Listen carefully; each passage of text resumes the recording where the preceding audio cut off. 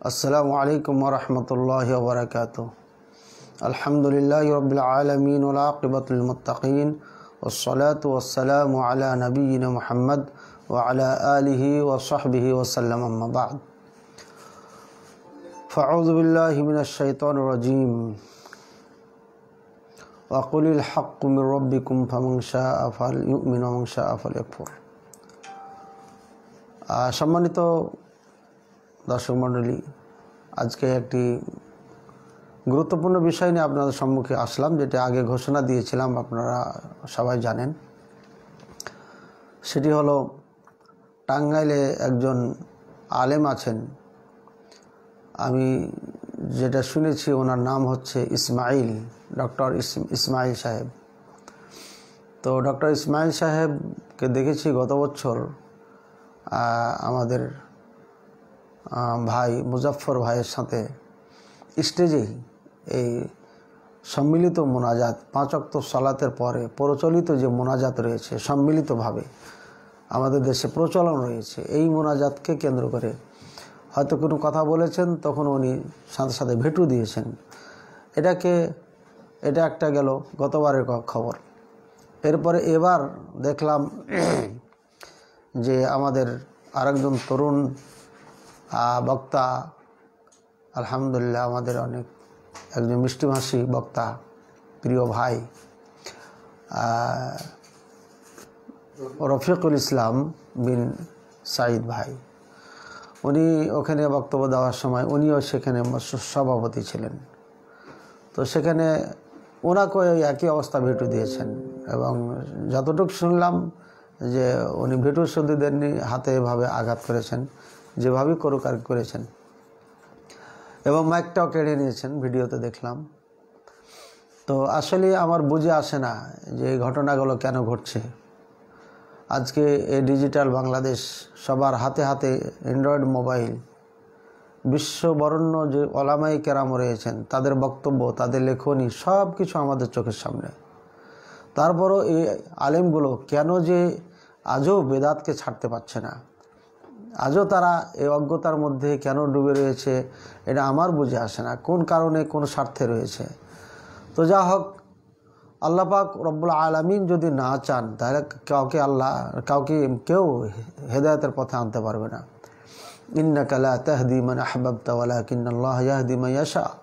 আল্লাহ পাক রব্বুল আলামিন নিজেই তার হাবিবকে মোহাম্মদ রসুল্লাহ সাল্লাহ সাল্লামকে বলেছেন, মোহাম্মদ, তুমি যাকে ভালোবাসো, তাকে তুমি হেদায়ত দিতে পারবে না। আমি যাকে চাবো তাকেই পারব। আল্লাহ যাকে চাবেন তাকেই সে আল্লাহ হেদায়ত দিবেন, সবাইকে দিবেন, আমরা চাইলেও দিবেন না। এই নিয়ে ঘটনা ঘটেছে আপনার বগুড়াতে গত বছর।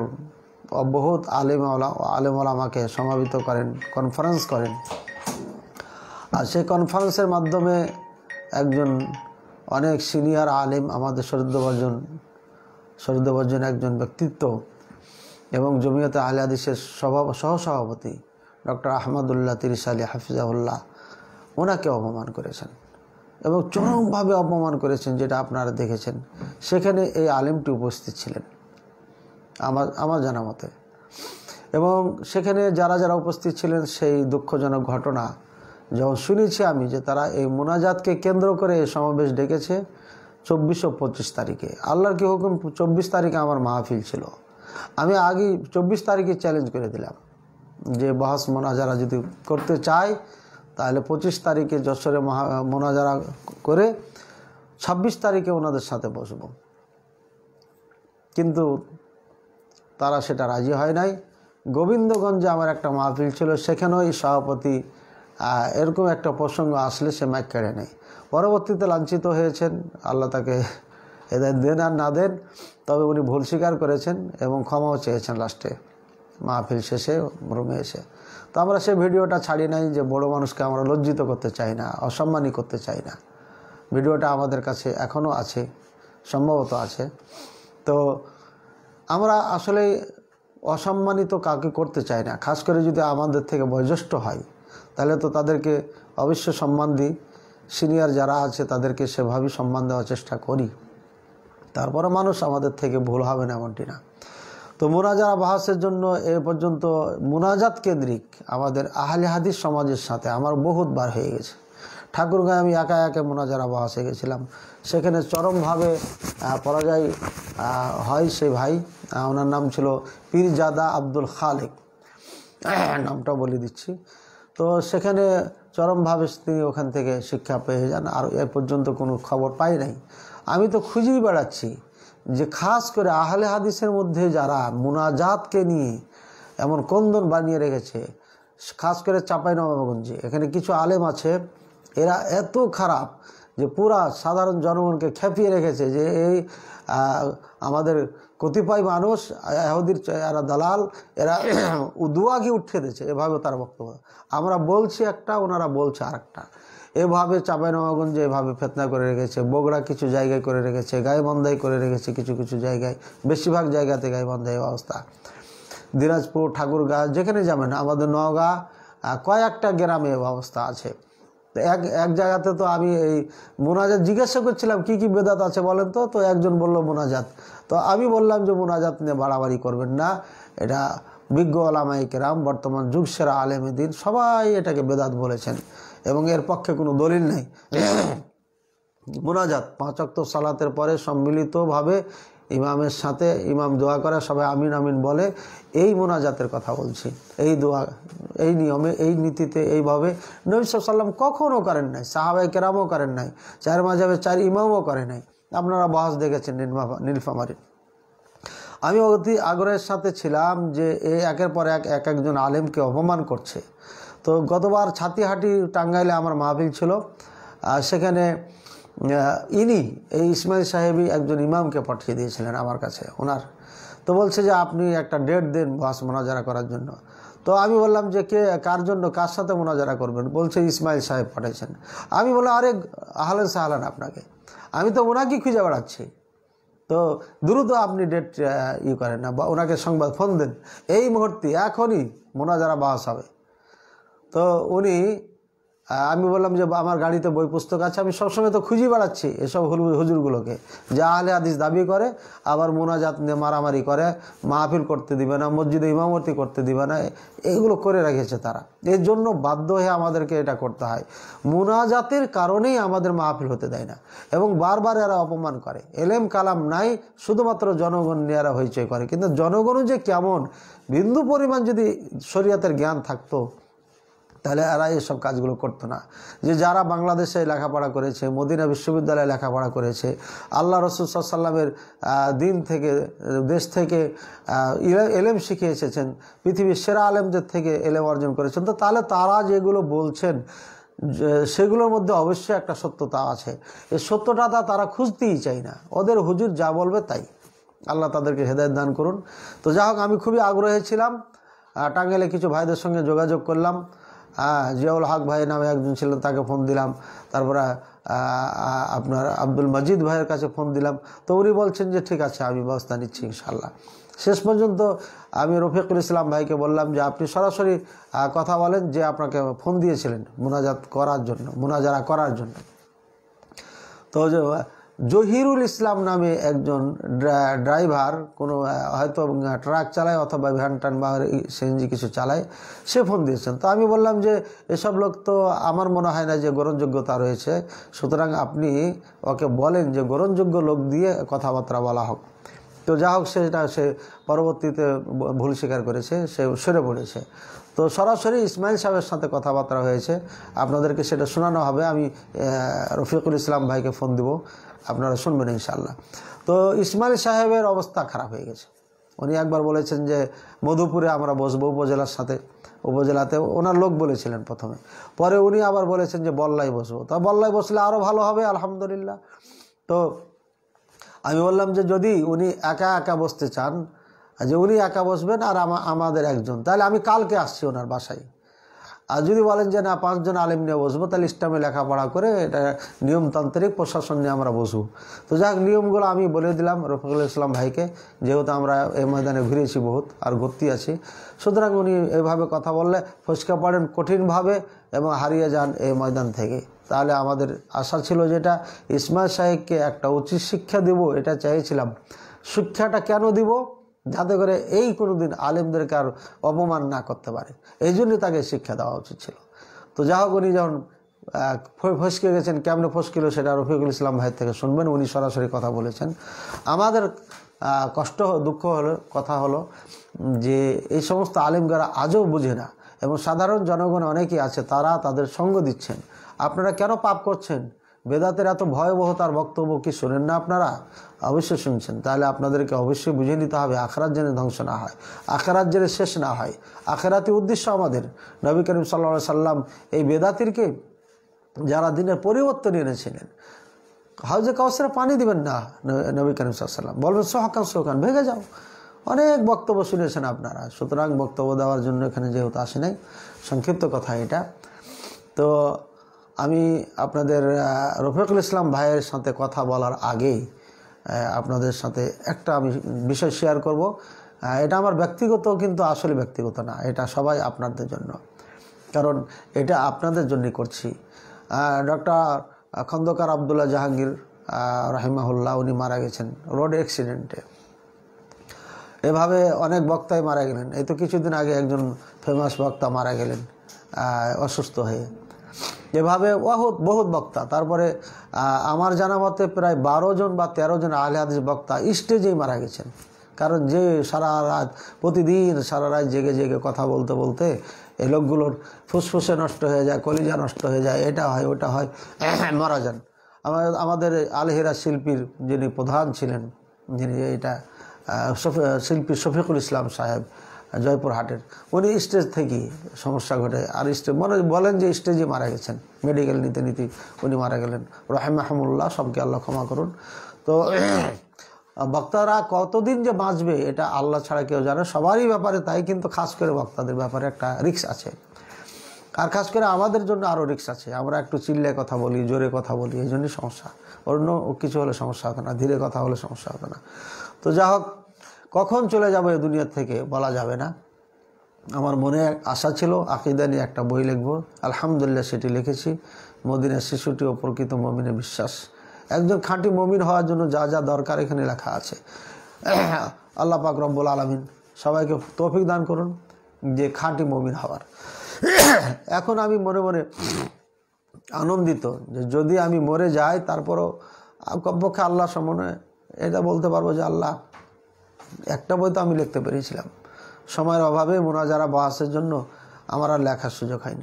তারপরে আরও আছে আলহামদুলিল্লাহ চার পাঁচটা। এগুলো হয়তো বের করব, সময় লাগবে। কিছু কারণ আছে, অসুবিধা আছে। যা হোক, আমার দ্বিতীয় যেটা আশা, যে আমরা আজকে বহাস মোনাজারা করছি, ভবিষ্যতে আমরা থাকব না, তখন এই ময়দানে কে থাকবে? বহাস মোনাজারা দরকার আছে। না এটা যারা- যারা বলে, তারা ভুল বলেন। এবং তারা এই জন্যই বলেন যে তারা মোনাজারা বহাসে যাবেন না, ভয় পাই মোনাজারা বহাসকে এই জন্যই বলেন। যে কেউ করছে, আমি করতে পারছি না, এই ভয় আছে তার। এই জন্যই সে বলবে মোনাজারা বহাস করার দরকার নেই। কিন্তু মোনাজারা বহাস করার দরকার আছে। বড় বড় ইমামগণ করেছেন। নবী করিম সাল্লাহ সাল্লাম মোবাহালা করেছেন। তো সুতরাং কেন করেছেন? হককে বিজয়ের জন্য। তো আমরা মোনাজারা বহাস করতে, আমি তো মোটেই নিজে নিজে যাই না কোথাও। কেউ যদি ডাকে, তখন যাই। কেউ যদি কোনো ভাই বিপদে পড়ে যায়, তখন আমি বলি, ঠিক আছে, আসছি। তো যা হোক আমার পরে, আমাদের পরে জেনে এমন প্রজন্ম আমরা তৈরি করতে পারি, যারা এভাবে সাহস করে, এভাবে এলেমের সাথে, শুধু এমনি না, এলেম নিয়ে বাহাস মোনা যারা, বাতলের বিপক্ষে আপনার বুক ফুলে দাঁড়াতে পারে, কথা বলতে পারে, এমন আলেম কিছু তৈরি করার দরকার, এটা আমাদের সহি আকিদা আহলাদিসদের মধ্যে খুবই বিরল, খুবই কম, পাওয়া যাচ্ছে না। আল্লাহ পাক রব্বুল আলমী যেন সে তফিক দান করেন। বাহাস মোনা, মোনাজারা করার জন্য সর্বপ্রথম যেটা শর্ত, সেটি হচ্ছে একজন আলেমকে গ্রামারে খুবই দক্ষ হতে হবে। এক নম্বর পয়েন্ট দ্বিতীয় নম্বর পয়েন্ট হচ্ছে উসুলুল হাদিস অলুমুল হাদিসের ওপরে তাকে হ্যাঁ গভীর জ্ঞান থাকতে হবে। হাদিস, এটা চলবে না, এটা চলবে, কেন চলবে না, কেন চলবে এটা কারণ কি এটা সনদ ঠিক আছে কি না মতন ঠিক আছে কি না অনেক, এটা একটা সাগর। তো অলুমুল হাদিস, এটা অবশ্যই জানতে হবে। হাদিস সম্পর্কে যার জ্ঞান নাই, ও এমনি এমনি মিথ্যা কথা বলবে, ও আপনার সঙ্গে ঝগড়া করবে, ও বলবে, না, আমারটাই সঠিক। এই তো হাদিস আছে। তো হাদিসের মধ্যে ভালো মন্দ না বুঝলে এই সমস্যাগুলো হবে। তো যা হোক, এই দুর্বলতা যেন আর আহলে হাদিসের মধ্যে না থাকে। আর আমি যেহেতু ফার্স্ট ক্লাস হানাফি মাসার ছাত্র। এই জন্য আমি ওলামায় হানাফকে খুবই ভালোবাসি। কিন্তু কিছু কিছু কিছু কথিত কতিপয় আলেম আলেম, আলেমদের জন্য তাদের সাথে আমাদের সম্পর্ক নষ্ট হয়ে যাচ্ছে। তো আমরা আসলে সত্যিকারী, যারা আমার ওস্তাদ আছেন তাদেরকে তো মাথার মুকুট মনে করে। আপনারা যশোরের খবর শুনবেন, যমুনা যারাই গেছি, সেখানে আমার ওস্তাদ।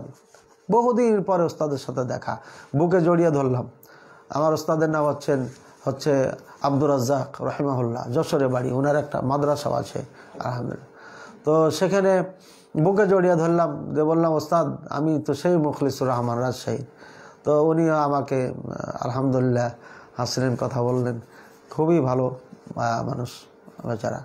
তো যা হোক, ওস্তাদকে আরও বললাম যে, ওস্তাদ, একই জায়গাতে দুইজন দুই, দুই- দিকে, সুতরাং আজকে আপনি এই মোনাজারায় থেকে, থাকেন না, চলে যান। তো যাই হোক উনি আমার দিকে তাকায় বসে গেলেন। আল্লাহ ওনার হায়াত দারাজ করুন। এবার খুদবা দিতে গেছিলাম, ওই হ্যাঁ মোনা মোনাজারার দিন। খানা খেতে গেছি, খানা খেয়ে বের হচ্ছি। উনি আমাকে তিনবার, কয়েকবার চড় উঠেছেন। চড় উঠেছেন, থাপ্পড় মারবেন আমাকে, মারবে। মানে এটা তো আদরের চড় উঠাচ্ছেন। তো যা চড়টা কেন উঠাচ্ছেন? মানুষের সামনে উঠাচ্ছেন, কিন্তু আমি খুব আনন্দিত। আমার ওস্তাদ, আমার প্রতি এত আত্মবিশ্বাস তার রয়েছে। যে মুখলেস আমার ছাত্র, যদিও সে আহলে হাদিস আর আমরা হানাফি, আমাদের বিরোধ আছে, কিন্তু মুখলেস আমার ছাত্র, আমার সাথে কোনোদিন বেয়াদবি করবে না। এই যে তার আত্মবিশ্বাস, এই আত্মবিশ্বাসের কারণে আমার ওপর হাত উঠেছে এইভাবে। মানে মানে নাই, বলছে মারবো তোকে এভাবে বলছেন।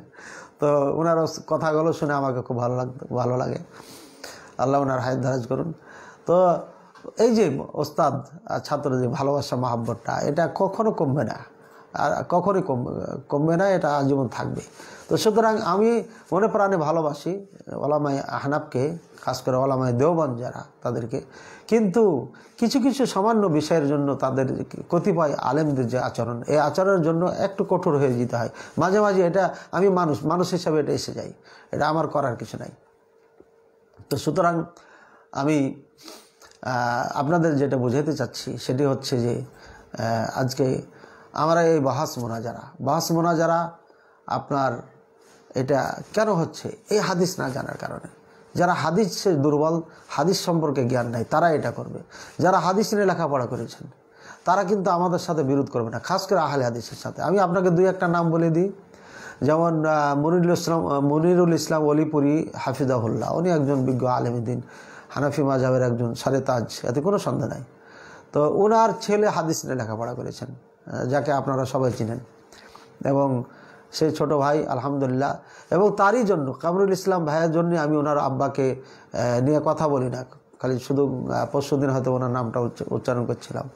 তার তার সম্মানার্থে যে সে হাদিস নিয়ে লেখাপড়া করেছে, তাই সে বুঝেছে যে এটা ভালো এটা ভালো না, এটা খারাপ, এটা চলবে এটা চলবে না। ইসলামটাকে বুঝতে পেরেছে। এবং কামরুল ইসলাম ভাইয়ের ক্লাসমেট যারা ছিল চোদ্দ জন।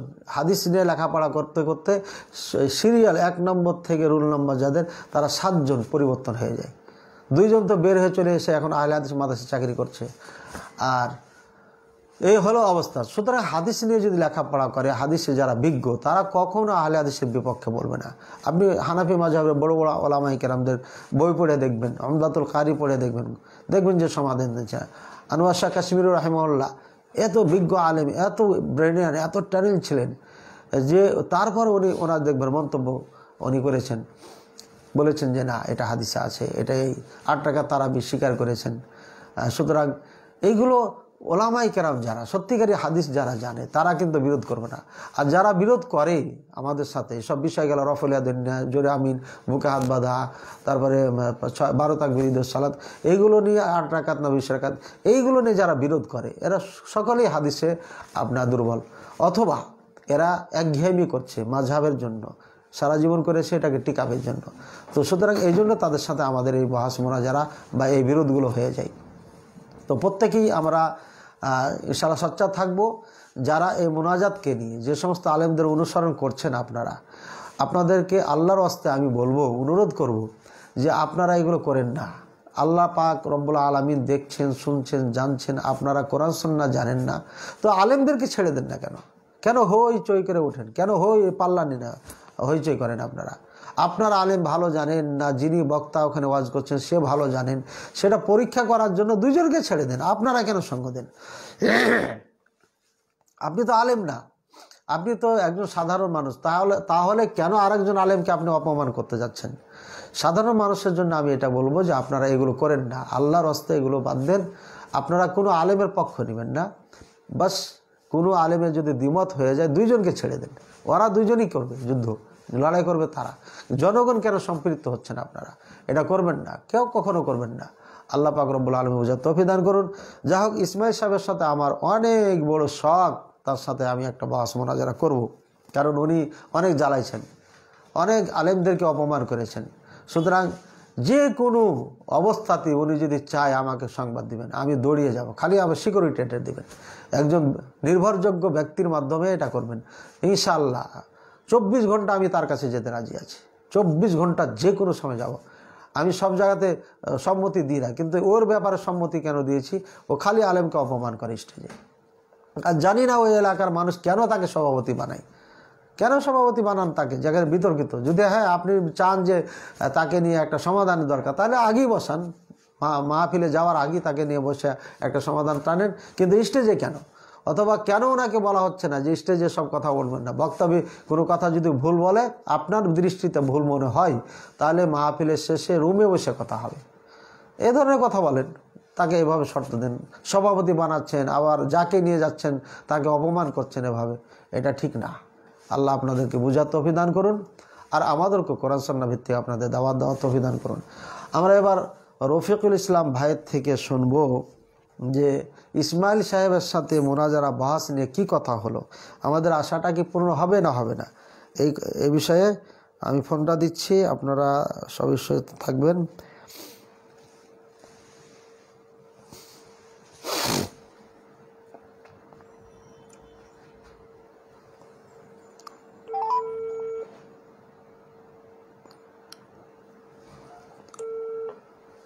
আসসালামু আলাইকুম ওয়া রাহমাতুল্লাহি ওয়া বারাকাতুহু ওয়ালাইকুম আসসালাম রহমতুল্লাহ বরকাত জি ভাইজান কেমন আছেন আপনি?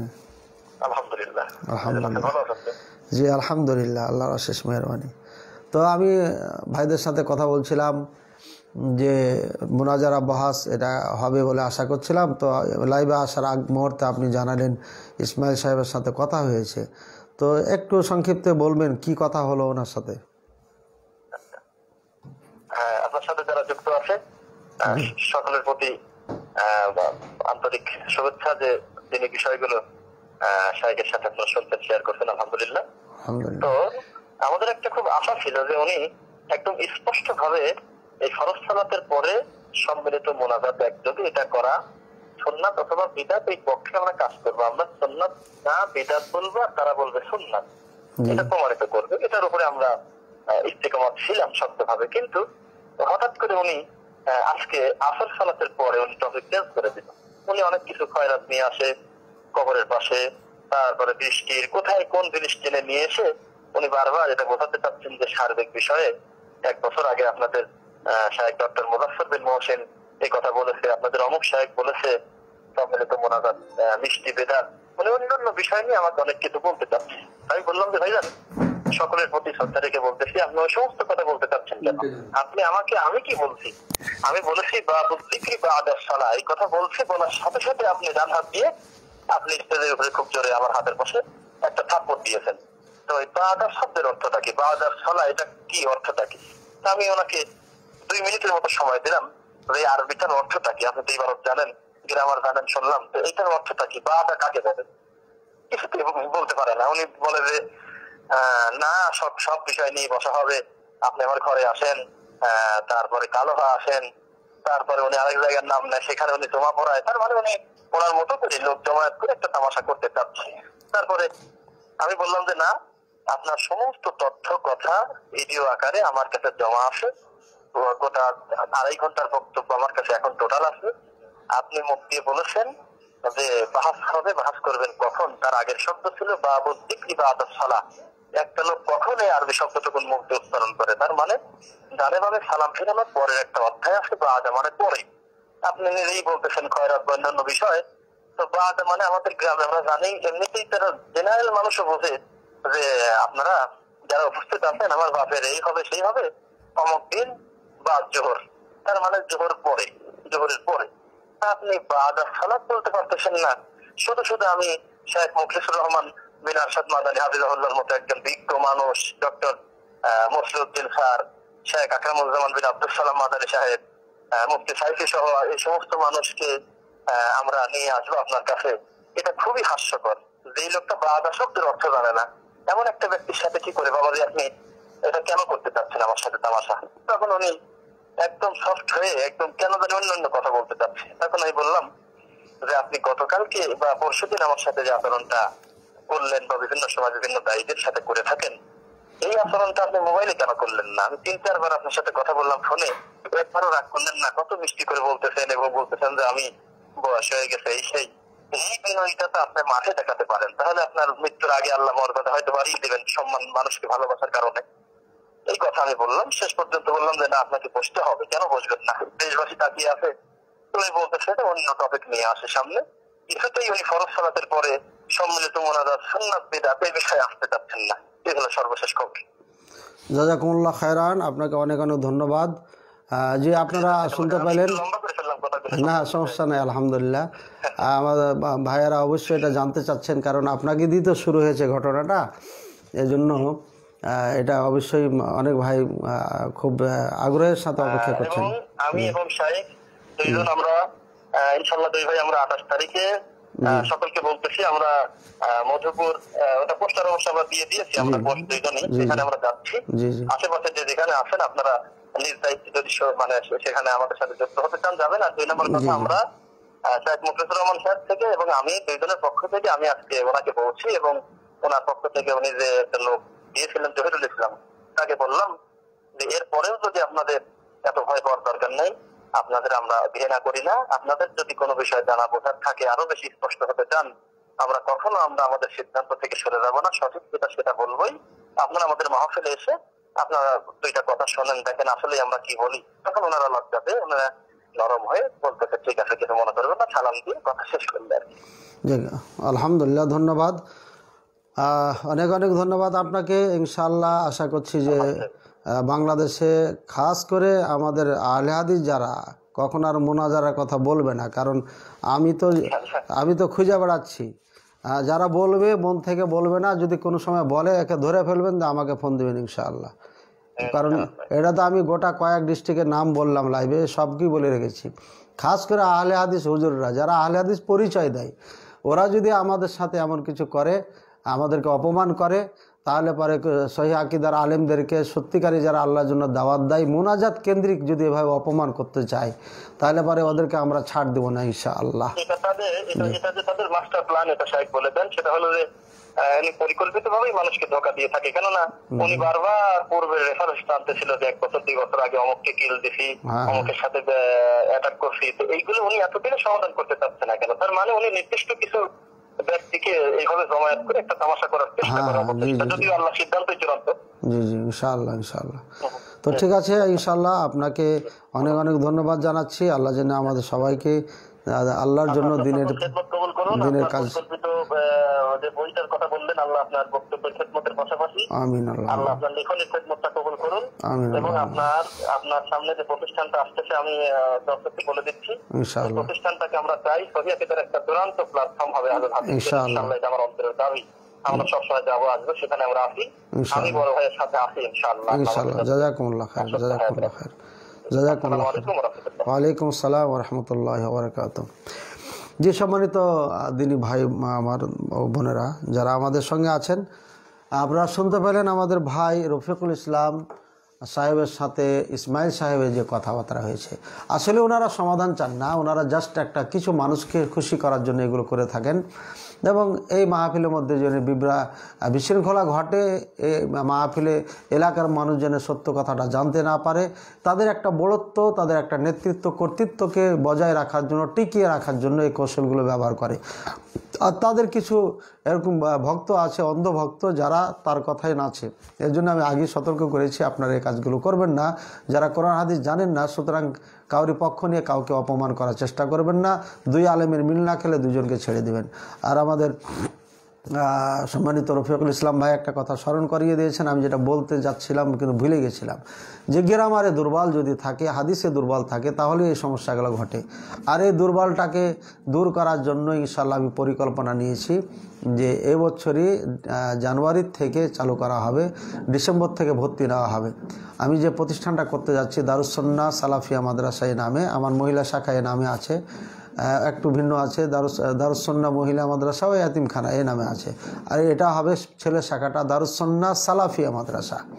তো এই মাদ্রাসা প্রথম যেটা থাকবে, যারা মিজান পড়েছে, অথবা নাহাবিমির পড়েছে, অথবা হেদাতুনু পড়েছে, অথবা কাফিয়ে পড়েছে, কিন্তু ভালো করে পড়তে পারে না, এই দুর্বলতা থেকে গেছে।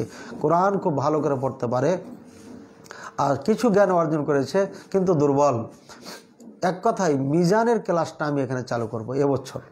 মিজান থেকে নিয়ে এদেরকে গ্রামারে পাকা করে হাদিসে, উসুলে হাদিসে অলুমে হাদিসে নিয়ে দিতে দিতে আমার তখসুসফি অলুমুল হাদিস হাদিস শাস্ত্রের উপরে বিশেষ যে কোর্স রয়েছে দাওরা হাদিসের পরে সে পর্যন্ত তাদের নিয়ে যাওয়া হবে। আর এই দাওরা হাদিস পর্যন্ত কোর্সটা থাকবে পাঁচ থেকে ছয় বছর। পাঁচ থেকে ছয় বছর হ্যাঁ এই কোর্সের মধ্যে শর্ট কোর্স এটাকে। দ্রুত যাতে করে এই হাফেজ যারা কোরআনে হাফেজ হয়েছেন অথবা যারা দাখেল আলিম পাস, যেহেতু বয়স তাদের হয়েছে, সুতরাং এই ক্লাসটাকে পাঁচ থেকে ছয় বছরের মধ্যে দাওরা হাদিস কমপ্লিট করা হবে তাদের ইনশাল্লাহ সাথে সাথে আর একটা ক্লাস থাকবে, যারা আলেম হয়ে গেছেন দাওরা হাদিস শেষ হয়ে গেছে, কিন্তু তারা গ্রামারে কাঁচা। পড়তে পারে কিন্তু বুঝে না, এটা তার কি বেঁকিয়েছে এটা হচ্ছে ওয়ার্ড টু ওয়ার্ড শব্দ টু শব্দ, এগুলো তারা পারে না। এক কথা, একেবারে খুব ভালো করে ডিপভাবে পারে না। এদের জন্য একটা শর্ট কোর্স থাকবে, এক থেকে দুই বছর তারা পড়বে এই গ্রামার এবং সাথে সাথে হাদিস কোরআন থাকবে। এরপরে তাকাসুফি আলুমেল হাদিসের তৃতীয় কোর্স থাকবে, যারা ভালোভাবে ভালো ছাত্র লেখাপড়া করেছে, দাওরা হাদিস পাস করেছে, হাদিস অলুমুল হাদিসের উপরে। হাদিস বিশেষজ্ঞ হওয়ার জন্য যেহেতু কোনো কোর্স আমাদের আহলে হাদিসে এখনও নাই, আমার জানা মতে তো সুতরাং এই কোর্সে কোর্সে আপনার হাদিস অলুমুল হাদিস, উসুল, মুস্তালাহুল হাদিস, এসব বিষয়গুলো এমনভাবে তাদেরকে শিখিয়ে দেওয়া হবে যাতে কোরআন সন্নাকে তারা কীভাবে গবেষণা করলে মানে হাজুস সালাফ কী ছিল মানে হাজু মহাদ্দিসিন কী ছিল, এসব বিষয় এক কথাই বিস্তারিত পড়ানো হবে। এক বছর সেটা তাকাসুসের যেটাকে পিএইচডি বলা হয় কমি মাদ্রাসায় ওটাকে পিএইচডি বলে। আর দাওরাই মাদ্রাসা, এটা তো সরকার মান দিয়েছে, মাস্টার্স।